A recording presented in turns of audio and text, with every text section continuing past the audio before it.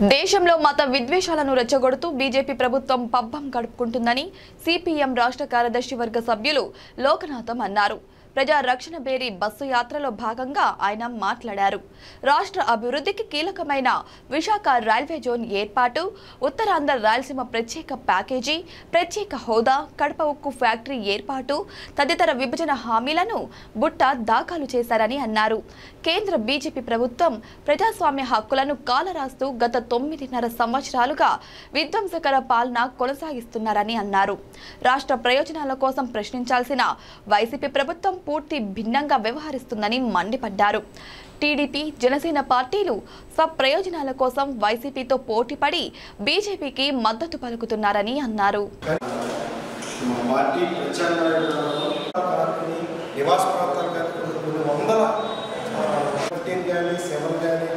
వీటిని ఎక్కడ ఇంప్లిమెంట్ చేయకుండా మూడు రోడ్ల నిర్మాణం కానీ ప్రభుత్వ కార్యకలాపాల పేరుతో సముద్ర ప్రాంతంలో గోదావరి అందుబాటులో పరిస్థితి. అంబేద్కర్ కోనసీమ జిల్లా పేరు పెట్టాలని చెప్పి మొదట తీర్మానం చేసినటువంటి ఏకైక పార్టీ సిపిఎం పార్టీ.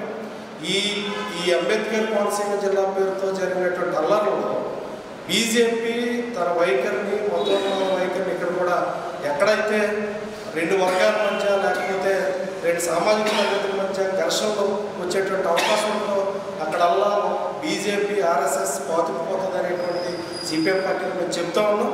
కానీ ఈ అల్లర్లో కూడా మేము కాలంలో కూడా దాడులు కూడా. మాఫియా సిపిఎం పార్టీ ప్రజారక్షణ బేరి డాక్టర్ బిఆర్ అంబేద్కర్ కోనసీమలో ఈరోజు ప్ర పర్యటన చేయబోతూ ఉంది. జిల్లాలో ప్రత్యామ్నాయ విధానాల్ని ప్రజా సమస్యల్ని ప్రజల ముందు ఉంచడం కోసం ఒక ప్రయత్నం సిపిఎం పార్టీగా చేస్తూ ఉన్నాం. అక్రమ ఆక్వా చెరువులను అరికట్టాలని. ఈరోజు మొత్తం గ్యాస్ పైప్ లైన్ లీకేజీలు ఈ ప్రాంతంలో ఎక్కువ అవుతున్నాయి దాన్ని అరికట్టాలి. సిఎస్ఆర్ ఫండ్స్ కోనసీమ అభివృద్ధికి కేటాయించాలని చెప్పి కోరుతా ఉన్నాం. ఇసుక చుట్టూ ఇసుక ఉన్నప్పటికీ కూడా ప్రజలకు అందుబాటులో లేదు. ఇసుకను అందుబాటులో తీసుకురావాలి. కౌలు రైతులందరికీ గుర్తింపు కార్డులు ఇవ్వాలి. వ్యవసాయ కార్మికులు ఉపాధి హామీ పథకంలో రెండు వందల రోజులు పనులు కల్పించాలి. ఈరోజు కోనసీమలో ఉన్నటువంటి అన్ని గ్రామాల్లోనూ రోడ్లు అస్తవ్యస్తంగా ఉన్నటువంటి పరిస్థితి ఉంది.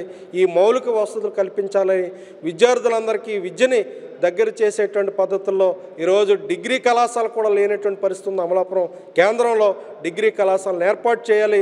అమలాపురం నడిబడిలో ఉన్నటువంటి హాస్పిటల్లో కనీస జరగాలని సిపిఎం పార్టీ కోరుకుంటూ బస్సు యాత్ర ఈరోజు అమలాపురం ప్రాంతానికి రావడం జరిగింది.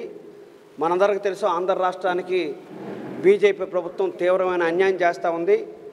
ఈ తీర ఈ ప్రాంతంలో అమలాపురంలో ఉండే గ్యాస్ ఏదైతే ఉందో అది గుజరాత్ ప్రాంతానికి తీసుకెళ్ళిపోతూ ఉంది.